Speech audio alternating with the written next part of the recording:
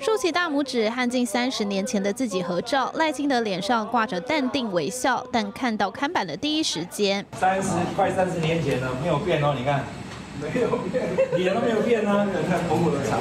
赖清德初出茅庐的青涩模样，被昔日国大好战友翻出，也许脸上藏不住岁月痕迹，招牌中分头造型始终如一。啊，这二十七年了哈，怎么好像冻龄啊都没有变？很关注他当年选举公报的证件，突然跟我说，啊，嘉宾啊。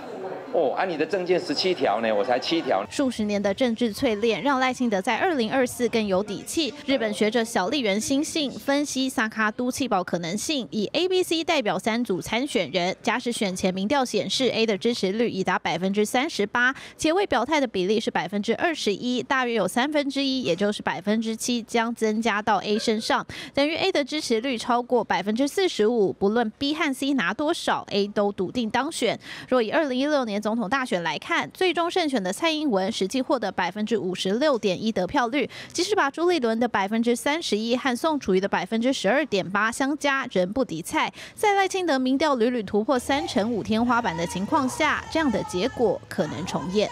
侯友谊加柯文哲加起来，可能甚至这个赖主席都有在某些民调里面还超过的这样子的态势哦。就算未来再野阵营真的进行了整合。